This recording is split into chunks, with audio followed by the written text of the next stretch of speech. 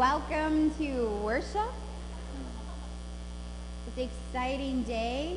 Every Sunday is an exciting day. We're going to celebrate the Lord's Supper in just a little bit together. We're going to worship together. We also celebrate Father's Day today. We thank you, all who are fathers or who are like fathers. Um, we have a little gift for you in the back. So if you want to take a moment and grab your little gift, it might keep you awake during the sermon in a bit. There is also back by Henry a little um, crib, toy crib, for the baby bottles. Today is the collection of the baby bottles for the um, Pregnancy Care Pregnancy Resource Center. So if you have one, you can just place it right in the back. There's quite a few announcements in your bulletin, so take a moment and peruse the bulletin. And also in your bulletin is a tiny little envelope, and those are for the extra offering that we take twice a month um, during, during the offering time. So if you have that, you can read about it in your bulletin. Let's begin. Lord, we set an intention right now to begin our corporate worship, that we've begun worshiping you this morning. We pray for your spirit to be ushered into this room, into your sanctuary. Pray for our hearts to be still. Pray for our hearts and minds to be open to you. And Lord, as we get ready to prepare ourselves for communion, remind us of how you created us. Remind us of what the table means for you as our Father, who have lavished love on us. Remind us, Lord, of the wonderful ways that you have created us. Now, Father, we give you our attention, we give you our heart our mind and our spirit for you to move and to convict, we pray. Amen.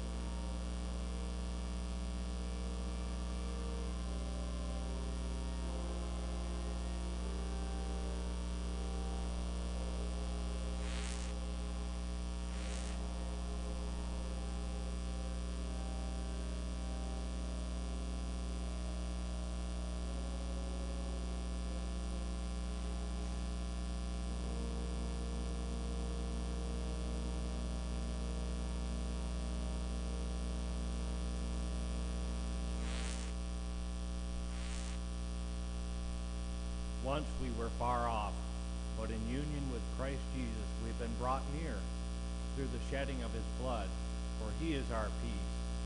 The peace of the Lord be with you. Please rise for the call to worship. Because of the Lord's steadfast love, we will enter his presence.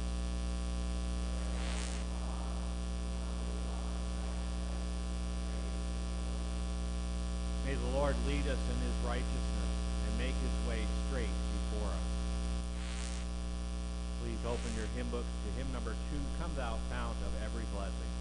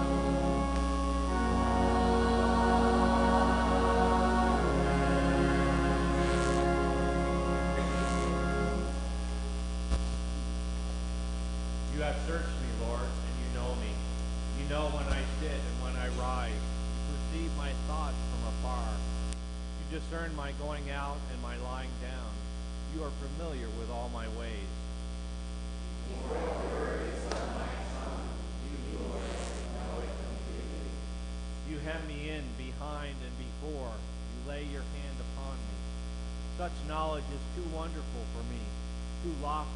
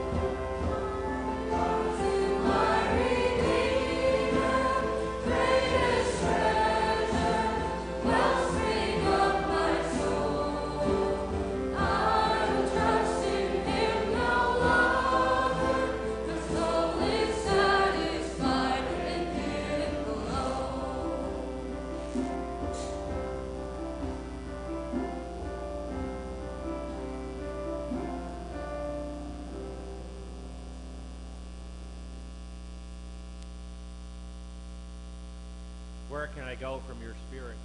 Where can I flee from your presence?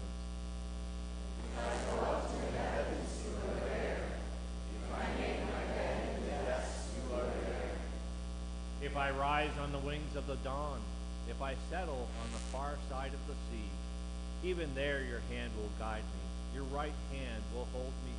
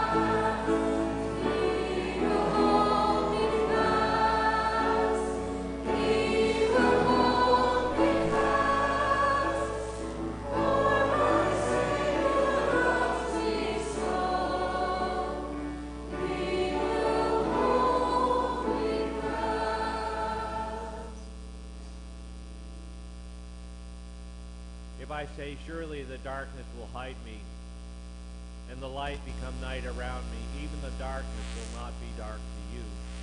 The night will shine like the day, for darkness is as light to you.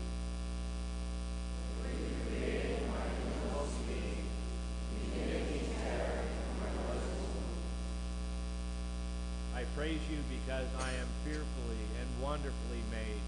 Your works are wonderful. I know that full well.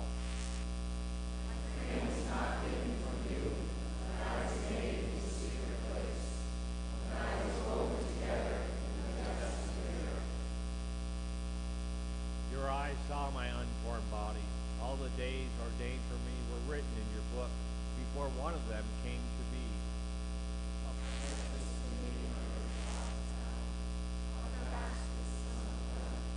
Were I to count them, they would outnumber the grains of sand. When I wake,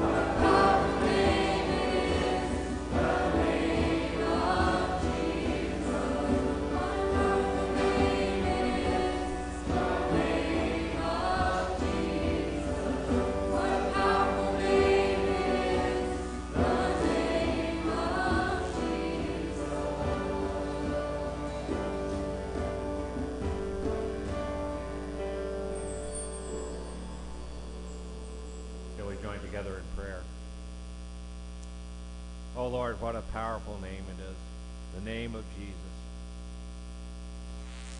We thank you that you loved us enough to send him to die for us on a cross, and that he followed your will. Lord, thank you that you chose to try and redeem us, to offer that to us. For we are your creation, Lord. You know us when we were in our mother's womb. You cared for us. You know all the hairs on our head. Thank you for your wonderful love, for your great creativity in what you have made us. Lord, we praise you through your Son Jesus. In his name. Amen. You may be seated. At this time, we'll take the morning's tithes and offerings. And uh, there's a separate envelope for the Deacon's Fund offering today.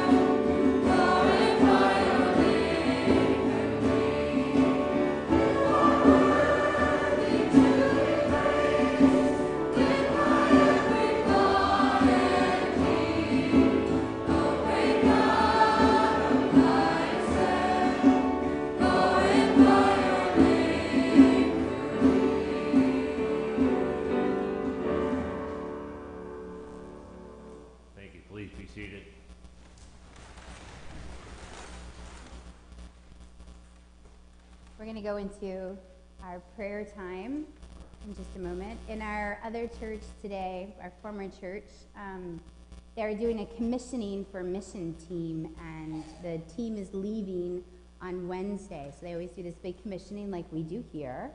Um, Marin's going to be on that team, so she leaves. She leaves here Wednesday morning and flies to Nicaragua for two weeks. Of uh, we've been trying to get her used to the heat. And next Sunday, she'll sit through a two hour worship service. So when you think the sermon goes a little long, think about Marin next week.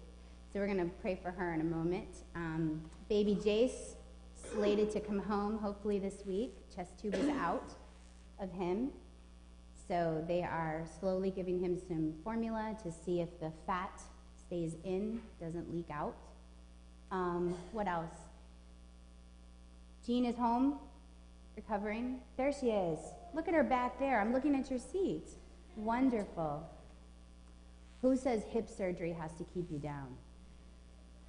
And Bob Miller is uh, recovering. Uh, he's in rehab at Porter, Porter Rehab in the nursing home section. So we'll lift him up as well. Let's pray. Gracious Lord, thank you so much for what you do for us, um, what you display in us, what you allow us to display for you.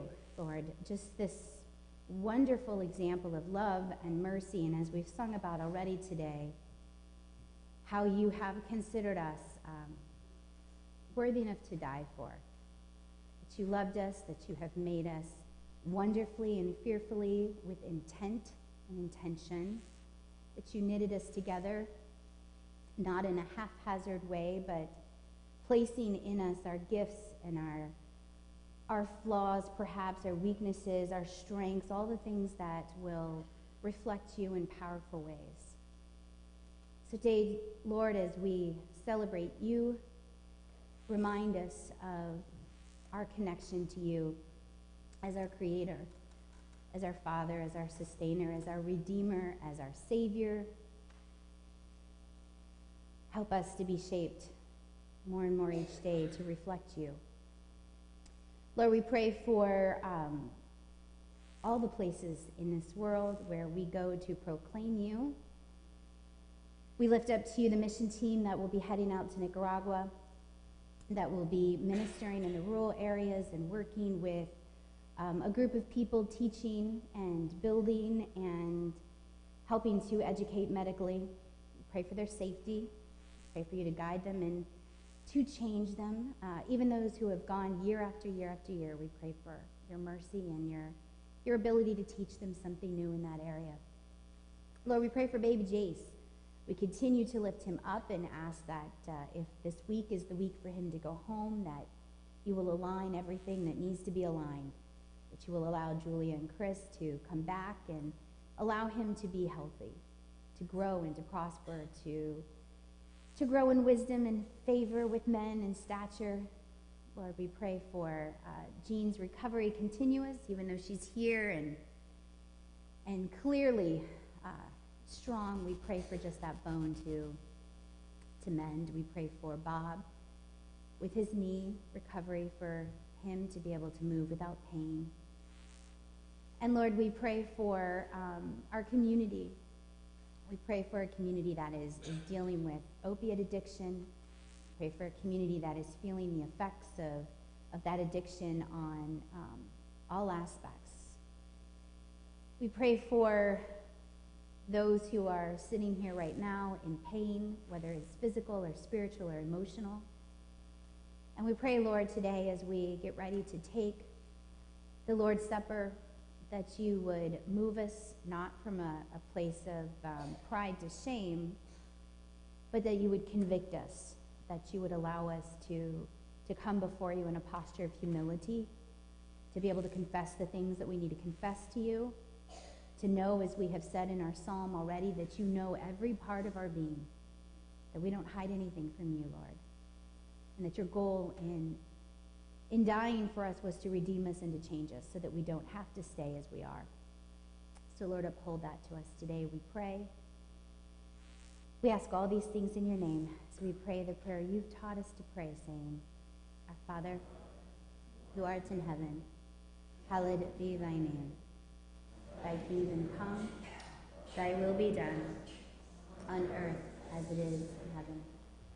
Give us this day our daily bread, and forgive us our debts as we forgive our debtors. And lead us not into temptation, but deliver us from evil. For thine is the kingdom, and the power, and the glory forever.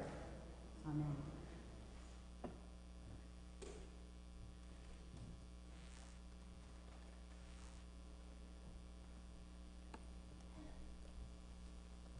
Reading from the Gospel of John, chapter 1, verses 19 to 28.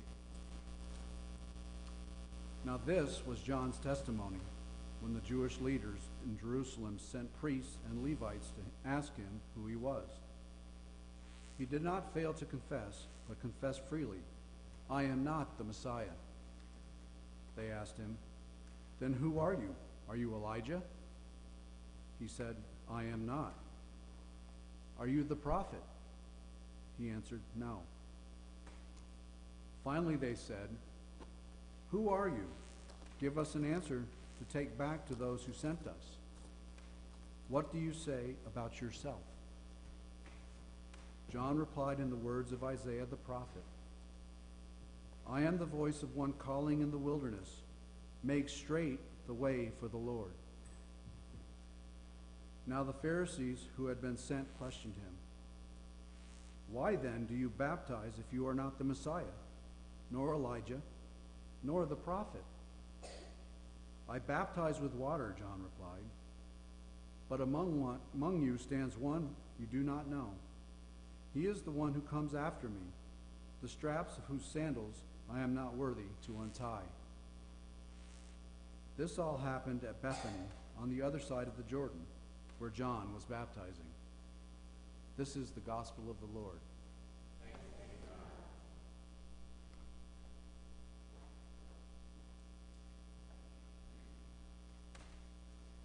In your bulletin, it, it lists that um, a Sunday school class is going to be starting July 2nd. I want to talk to you just a moment about that. The Mark Sunday school class continues through June, and then in July, we're going to begin an eight week class um, on spiritual gifts. It's a class by Dr. Uh, Stephen Haugk. He's the person who created Stephen Ministries, if you're familiar with that. And the Spiritual Gifts Inventory is an, is an eight week class where we unwrap our spiritual gifts. And so if you're sitting here going, I don't really need that, I already know my spiritual gifts, my response would be pray about it, see if God wants you there. Because um, part of the class is not just figuring out our spiritual gifts, but doing the work to figure out what does that mean. And it's not a class just to get people signed up for jobs in the church. It's, it's how do we use our spiritual gifts throughout the whole world? How do I use it in my job, in my home, in my life? So if you haven't signed up, just let us know because we need to buy a workbook. So we need to order those this week. Let's pray. Gracious Lord, now we come to a time of teaching, a time of your word. Pray for you to illuminate it to us today. Amen. So last week we began a sermon series called Making Room for the Incarnation. And we unpacked a little bit last week about what the incarnation is. And that's the time when Jesus walked on earth and God took on skin. But there's another incarnation that happens without the big THE in front of it, and that is when Jesus Christ moves in us, lives in us. And that makes us incarnational people. So last week we had some challenges as to what happens when we become incarnational people. How do we overcome some of the challenges that may pop up along the way? And I gave you a little challenge homework in going to God and asking God where He wanted you to be intentionally planted. Where did He want you to pitch your tent? You may already know that. But if not, it's a great check in with the Lord. Where do you want me to be incarnational? So today we continue with the narrative, but shifted just a little bit in John's gospel, and today we pick up the story of John the Baptist. not to be confused with the John who wrote the gospel. John, who wrote the gospel, is usually ascribed to a disciple of Jesus. We believe that because of the eyewitness accounts in his word. John the Baptist was somebody different. John the Baptist was a person who had a very specific call on his life. He was to be one of the forerunners to Jesus Christ. He was to point people to Jesus Christ. He also was perhaps one of the best examples in the New Testament of what it means to be incarnational. He understood in our modern vernacular the, dis- the difference between the incarnation in Jesus Christ, the coming of the Messiah, and what it meant to display God through him. He knew very, very clearly where he ended and the work of God began. So, for us to look at what it means to be incarnational, today we're going to look at what it means to tell our story. And we're going to look at John telling his story. You've already heard Alan read. The preface to this chapter says, This is the testimony of John the Baptist. And through that, we're going to get little glimpses of how we can tell our story in order to help facilitate the gospel. So, we're going to dissect our passage in just a moment, but first, I want to refresh us on John the Baptist. John the Baptist, we hear about for the first time in, in Luke's gospel when his mother, Elizabeth, the cousin of Mary, cannot have a child. By the way, whenever in Scripture you see a woman who's barren, red flag, that child is going to be a big deal. And so we know Elizabeth being too old to conceive means that John will be a big deal. He has a special birth announcement, not as grand as Jesus, of course, nor should he, but he has a birth announcement where the angel of the Lord comes to Zechariah, his father, in the temple. Priest Cohens would have one week service duty in the temple, and Zechariah is scheduled for that service. And when he's in the temple, an angel of the Lord comes to him and tells him Elizabeth will get pregnant. But the plausibility with that possibility is too much for Zechariah. And so he pushes back and questions the angel of the Lord which results in him being mute until John is born. He talks as soon as John comes out, and they all want to name him, of course, Zechariah, little Zechariah, and he says, no, no, no, his name is to be John, because the angel of the Lord has already told him that. So John the Baptist grows up, and he has this amazing sense of self. John the Baptist has this understanding in the most pure and honest and godlike way we can have it of the difference between what he's supposed to do and be versus who he's supposed to point others to in God and ultimately in Jesus Christ. But John the Baptist is a little weird. He's actually a, a lot weird. He is. He has taken himself out of conventional city life. He lives in the midbar, the wilderness. He dresses in this camel haired tunic with a belt. And I remember as a kid, you don't, I don't know, maybe all kids don't really, I didn't really think that was that weird until I started studying what they wore when I was doing my doctorate. Nobody wore a belt. Men did not wear a belt. I don't even know a modern equivalent to compare it to, but you did not wear a belt in the ancient world. Your tunic was linen and it was gathered in a different way. That was a very disarming um, and, and humble thing to wear that belt. Why does he do it? I don't know. But he doesn't just wear a camel hair tunic and a belt. He eats wild honey, he eats locusts. He's kind of outside the box. He's a Nazarite, and he's been a Nazarite his whole life, which is also outside the box. He never cuts his hair, he never touches alcohol, and he has this ability to draw people to him. John, in every sense of the word, knows who he is. He knows what he's called to do, he knows what it means to be incarnational. He knows how to be effective to point people to Jesus Christ, which leads it back to us for just a moment. Do we know that about ourselves? Do we know our story? Do we know our testimony? Do we have a very strong sense of self, not in a modern or postmodern understanding of higher self, but do we understand where we end and God begins? If we're to be incarnational people, this is going to be done in two ways. One, through us as a body of believers and community, but two, as an individual. And if you're going to embody the incarnation for other people, then you have to really understand your boundaries. You have to have a really healthy sense of interpersonal relationships. You have to understand how to communicate and how to talk and how to work with, and you have to have a posture of humility. So here's some questions that are going to be on the board through the duration of the sermon. There's a slide.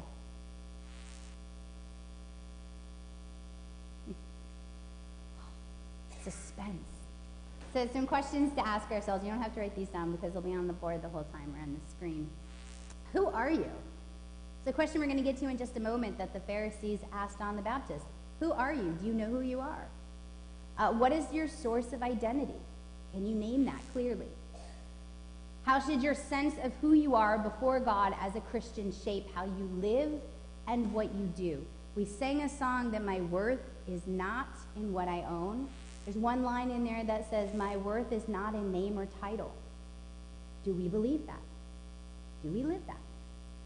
Um, are you comfortable with telling your story to others? And not just the how I got saved part of your story, but your whole story, everything about your life. And there's one more slide. And then the next is, ooh, I'll add those extra questions. Um, the next one is how do we relate when we're challenged, when we're criticized, when people come up against us? Does that change our story? Does it change the posture of our story? We'll see that with John in just a moment. Have those questions be going through prayerfully your mind as I continue to preach. Let's get back to the word. If you open back up into your gospel, there's a change that takes place in this narrative in verse 19 of chapter 1. Chapter 1, verse 19, all the way through chapter 12, verse 54, is this 12 chapter section where John makes a very strong case that Jesus is the Son of God, he is the Messiah, he is the one everybody's been waiting for. In chapter 1, verse 19 through 51, the rest of chapter 1, and we're only going to cover part of this today, so go home and read the rest. John the Apostle is unpacking identity statements that John the Baptist has made about himself. And those identity statements are from last week's sermon. Last week we did chapter 1, verses 1 through 14, and focused on verse 14. But if you go back to verses 6 through 8, a passage that is very familiar to us every Christmas time, you'll see those three identity statements. John the Baptist says, I am not the light. I am pointing people to the light. And you are not supposed to believe in me, as John the Baptist, but through me, you are to believe in him, Jesus Christ. So then the rest of chapter 1 unpacks those identity statements. Verses 19 through 28, which we'll hit today, unpacks the identity statement I am not the light. Verses um, 29 to 34 unpack the statement I am to point you to the light. And then verses 35 through 51 show that John has people through him believe in Jesus Christ. Verses 35 through 51, the disciples start to come to, to John the Baptist, and they're most likely his disciples first. But he gets out of the way, and he points them to Jesus, and they become Jesus' disciples. So we're going to dive into our passage um, in just a moment to look at what it means to unpack. We're going to unpack this 19 through 28. Very specifically, what does it mean to not be the light? Okay, before we get there, let's physically and mentally dive into our passage. Imagine you are John the Baptist. So imagine you're John the Baptist and you are the son of a priest. And instead of going after your father's tradition, being a priest, and getting the customary robes of the priest and the customary position of the priest, you are called by God to preach with no real formal training out in the wilderness. A very different message than the establishment in Jerusalem. You don't set up your ministry in Jerusalem, you set up your ministry out in the wilderness. And yes, you decide to wear these weird clothes. You've got camel hair tunic, you've got your belt, you've got long hair, you've got a, a, personality that greets people when they arrive with the opening statement, You brood of vipers. Who told you to flee the wrath to come? So you've had more than one person in your life telling you maybe you should soften the approach, John. Maybe you should go with a little more of an intro. But it's working for you because thousands of people are coming out into the middle of nowhere and they're being baptized and they're repenting and they're confessing their sins. And then all of a sudden, one day, these nice dressed big wig fellas from Jerusalem, the establishment, the religious big dogs, show up on your turf. They pull you aside and they say to you, Who are you? Who are you? And if you didn't know who you were, you very easily could be challenged by that and become defensive and defend who you are. But you know very clearly who you are not, as well as who you are. And because you're sure of your calling and your identity rooted in God and pointing people to Jesus Christ, you are able to outline for these guys who you're not and who you are, which leads to this point. If we're going to effectively point people to Jesus Christ, we have to emphatically, in our bones, know who we are not and know who we are. And yes, we're going to start with the negative today because that's what John starts with. So turn back to our passage in verse 20. John the Baptist begins with who he is not. These guys show up and they immediately, according to John the Apostle, ask him, Who are you? John the Apostle reads into that, look at verse 20, and he's assuming that they're implying or asking directly if this is Jesus Christ. Is this the Messiah? Why? Because messianic expectations were rising high. Throughout the Hebrew scriptures, it had been promised that there would be somebody righteous coming in peace. What is that passage we read every Christmas? That the government will be upon his shoulders that this person, the Son of Man, the Son of God, would take on the establishment as Rome and free the Israelites. Persecution is high, poverty is high, death is high. It is a terrible way to live. And so the religious are looking for a person who's going to step into that place. And John seems to fit the bill. John is outside the box in every sense of the word, and he is highly critical of the government. John's preaching against sin will point out Herod Antipas's choice in marriage, which will eventually get John beheaded. So this looks like the guy. But what does John say to them? Emphatically, no. Look at verse 20. He says, um, He did not, this is John the Apostle, he did not fail to confess, but confessed freely, I am not the Christ. By the way, it's as if John the Apostle is an eyewitness to that because he's able to tell us emphatically what he says. And of the things that the religious elite ask John who he is, the most emphatic is that he is not Jesus Christ. He is not the Messiah. He knows where he ends and pointing people to Jesus begins. But there's a little bit more as to why they would want him to be the Messiah. There is no grid at this point for the Messiah being born fully human, fully divine in a manger, and the first people getting that birth announcement to be lowly shepherds and wise men who don't even practice the faith. So these people are looking and searching, and this guy seems to be the guy. But he's given up the priestly role, and he's out in the middle of nowhere, and he's calling attention to himself in an inflammatory way. But his denial is emphatic. No way, no room for doubt. I am not the Christ. Okay, draw this to us for just a moment in application. We might be saying to ourselves at this point, okay, but who's going to think we're Jesus, right? That may not happen. It may not happen every day. It may not happen ever in your life. But it's not so much that people will think us Jesus. It's that oftentimes as incarnational people, they think we should behave like Jesus.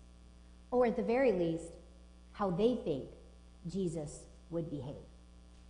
And so, in order to reflect Christ, we have to be really clear again on who we are not and who we are.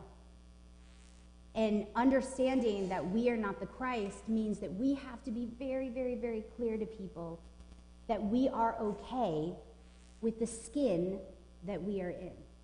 And I'm going to use myself as an example for this this morning. And this is part of my testimony.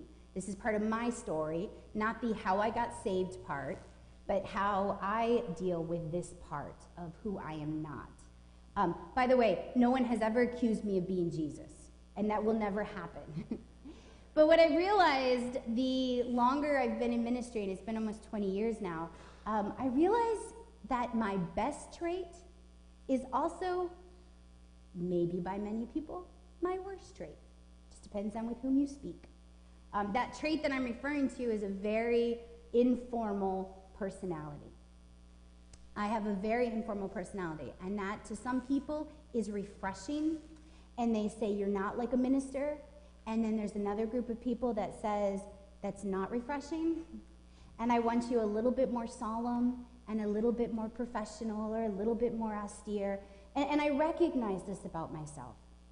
I recognize that the skin that I wear means that I am raw, I am flawed, I am broken, I am healed and redeemed. I am very comfortable with stating my beliefs. I'm also very, very, very comfortable with saying when I'm wrong. Um, I have at any point, at any day, the ability to tell you what I'm really, really good at and what I'm really, really bad at. And most weeks, I can also tell you what God is working on in my life to craft and to make a lot better. Um, I don't play games. I don't lie, at least not very well. Ask our children. Um, I, I laugh at inappropriate things. I tell really ridiculous jokes. And it's not that I don't take uh, the holiness of Christ seriously, I just don't take myself seriously. And if you're at this point in the sermon going, why is she telling us this? Because I realize at this point in my life that this is this in skin part that people sometimes don't always like. I remember when I was 24 years old, I was 22 when I started ministry. When I was 24 years old, I was acutely aware that I, I, I wasn't like the other ministers. And I remember just, I couldn't wait to get that title, Reverend, because then I would be important. And then, ironically, by the time I got the title Doctor at 36, I realized I wasn't important. God is important. Um, but this informal personality, my, my humor or my mess ups or the, the times I have um, issues, that sometimes stands in contrast to what people expect Christ with skin to look like. One of the informal aspects of my personality that came under, um, made me realize this can, be, this can be a hiccup for people was when I was teaching seminary and I was teaching Hebrew and I didn't use that title doctor. And I, I just thought it was more important for me to try to get at the Word of God to people who were spending three hours after a full day of work studying Hebrew. Again, some people thought that was wonderful. Some people thought that was just a little too informal, and they wanted the professor to come with title and with credentials.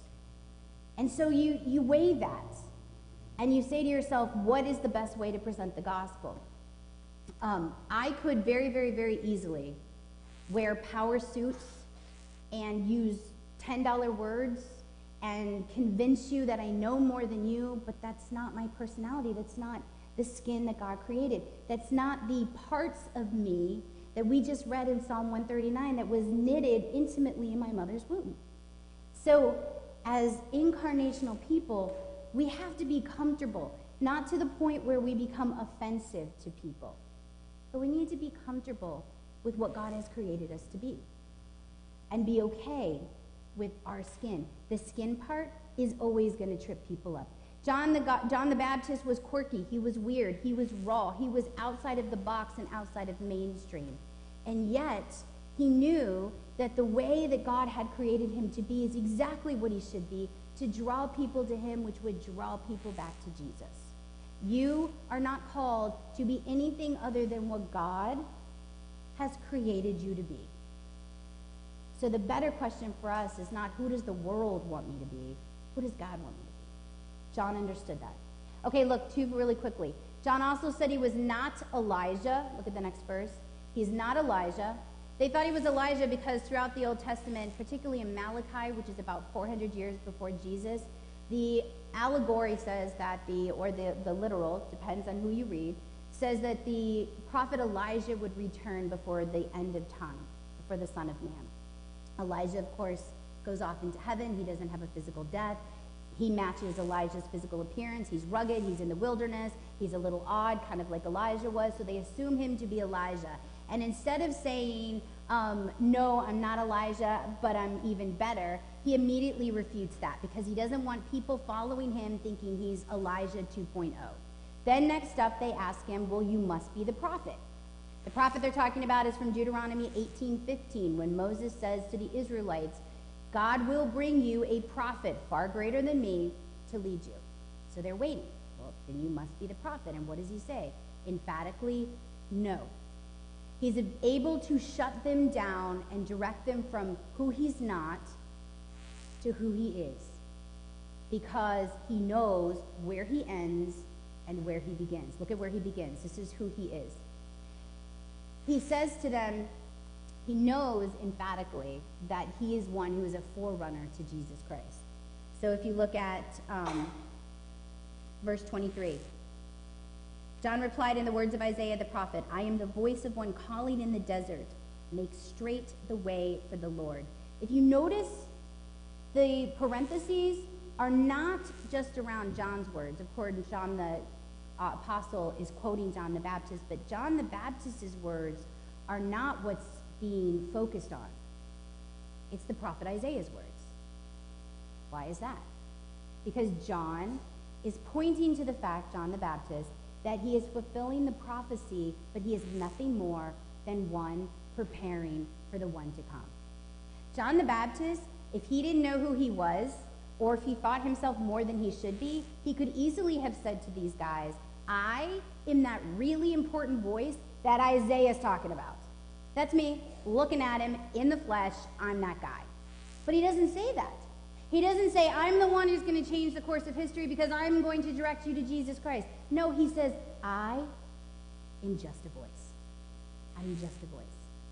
A messenger would go out probably a mile up the road, sometimes two miles from a king, and they would tell the upcoming town the king is coming. And what that meant is that the, the town could prepare for the king by getting everything out of the road that was debris and filling in the areas of sinkhole so that the carriage or the chariot of the king could ride smoothly. John says, I know who I am. My testimony is that I'm the guy running before the chariot, getting you ready for the king. I am not the king. Then, next up, he recognizes that he is to be the one to baptize the baptism of repentance. Look next. Verse 26. Um, the Pharisees, though, are a little confused at this point because they're saying to him, wait a minute, okay, if you're not Jesus and you're not Elijah and you're not the prophet, then who gives you the right to baptize? Remember how I asked you if what do we do when we get challenged? John's being challenged. And John the Baptist could easily get off track and spend an entire afternoon telling them why he has the right to baptize. But he doesn't. If we don't know who we are, if we don't know our calling, if we don't understand where we end and Jesus Christ begins, then it is really easy to get off track when you are challenged. It is really easy to fall to pieces when you are criticized. But when you understand who you are in Jesus Christ, you can divert it back to Jesus. Look at verse 26. He doesn't say, I have a right. Don't you know who I am? I had a special birth announcement, and I'm out here in the wilderness, and I'm the guy that Isaiah is talking about. No, what does he say? I baptize with water. He points it to Jesus, verse 26. But soon there will be one coming who baptizes with the Holy Spirit. He is able to push it to Jesus because he knows he's got nothing to prove. Jesus is the king that's coming. And then, just real quickly, this little weird part at the end of our section, verse 28. It says, This all happens at Bethany on the other side of the Jordan where John was baptizing.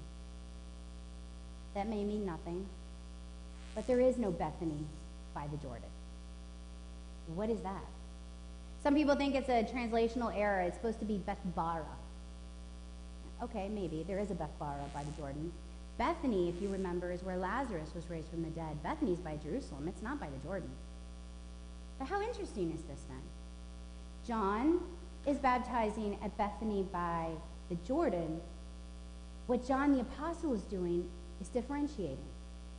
John the Baptist, Baptist is where he was supposed to be to point people doing what he's supposed to be doing to Jesus, and then Jesus will be at that other Bethany later, doing what he's supposed to be doing by raising the dead, pointing people back to God. John knows that line of demarcation where he ends and Christ begins. Okay, bring it to us. If we're going to be incarnational people, as I said last week, we have to have a posture of humility. And John will end that little section on Jesus baptizing with the words, I'm not fit to untie his sandals. A rabbi, a very famous rabbi, said years ago in his commentary that a teacher, a master, can teach us all things, but a student knows their place when they are unfit to tie, untie their master's shoes. John the Baptist has this posture of humility. If we're going to be incarnational people, then we need to come before the Lord with that posture of humility. We need to come before each other with that posture of humility. And here's the thing the world will give you every opportunity to shine. But it is not important that the world thinks we're important. It's important that the world thinks that Jesus is important. And so part of making room for the incarnation is sometimes we got to get out of our own way so that people can see Jesus and not us. And the other thing about making room for the incarnation and us being incarnational is that when we know who we are, we know what we're not called to do. We can walk beside people in pain. We can walk beside people who are hurting and not get sucked up in it because we don't change them. We don't save them. We just walk beside them. We can minister to people and preach to people and teach to people and evangelize to people and not feel like failures when they don't convert because guess what? We don't change them. We are not the light. We just point people to the light. As incarnational people, when we understand where we end and Christ begins, then we're able to reflect Jesus to other people. So here's that challenge to you today. I'll give you a little homework. Um, last week I said to you, we need to be okay with being weird. And I'm going to unpack that for you for just a second. When we tell our stories, the um, how I got saved part, the ordinary, everyday, mundane part, the oh my goodness, you've got to see what the Lord is doing in my life part, the spectacular spiritual growth part, all of that, that is our story, is the important part to tell, but it is a language that is often very unfamiliar in our world. And no, we do not need to approach anybody with the phrase, you brood of vipers. But when we start saying things like, I need to pray about it, or God's calling me to do this, or I'm not sure if it fits what the Lord has in mind for me, that is as disarming and uncomfortable for our world as John the Baptist was for his. It's weird. And we've got to be okay with that kind of language. So your homework this week is to ask God, how do I tell my story? Ask yourself, do I tell my story?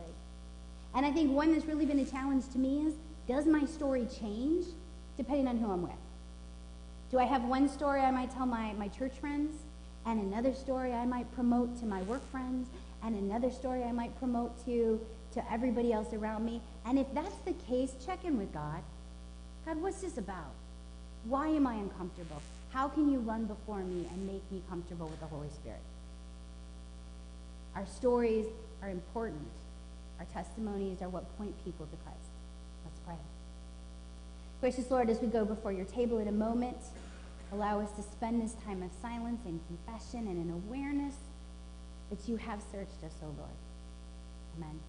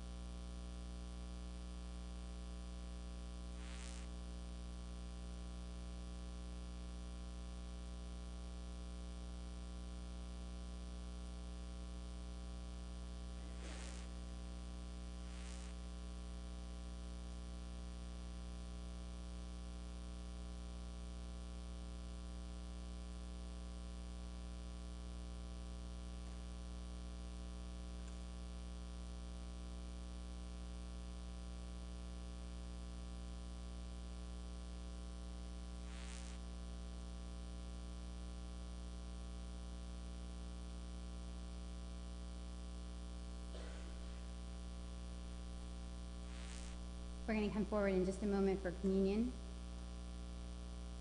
Once again, we invite everybody, regardless of your membership with our church. Um, we ask that there's a, a belief in Jesus Christ, and that is between you and the Lord. Um, and it's also okay to not take communion. To say right now, I, I'm, I'm, I'm struggling, and I, I'm gonna, gonna sit this one out. That, that's, that's your call too. We're going to come forward in a moment. We're going to ask that you take it back to your seat. We'll take communion together at the end. If you cannot come forward, we'll have it brought to you. I'm going to have the deacons come forward.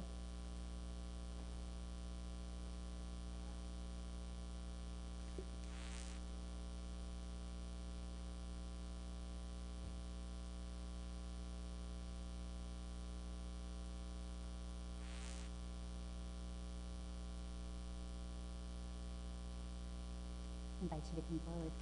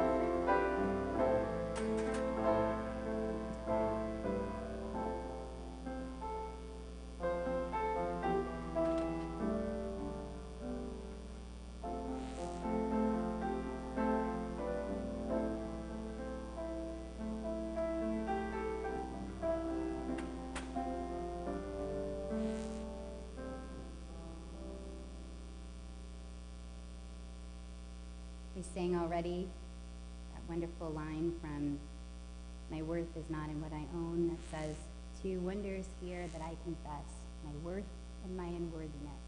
As you come before Christ on the table, we are holding those two things in tension that we are both children of God who are born sinful, and yet we are children of God that He loves so much. He considered us worthy enough to die for us. On the night when Christ was crucified, He took the cup, He took the bread. He said, This is my body that is broken for you. This is a cup, a new covenant poured out for you.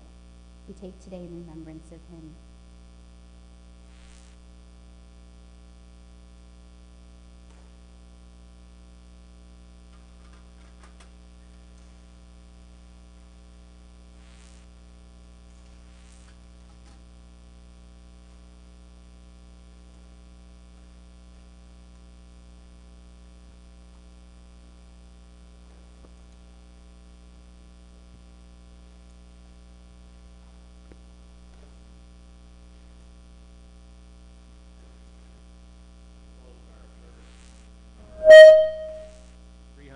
Community, verses 1, 4, and 6.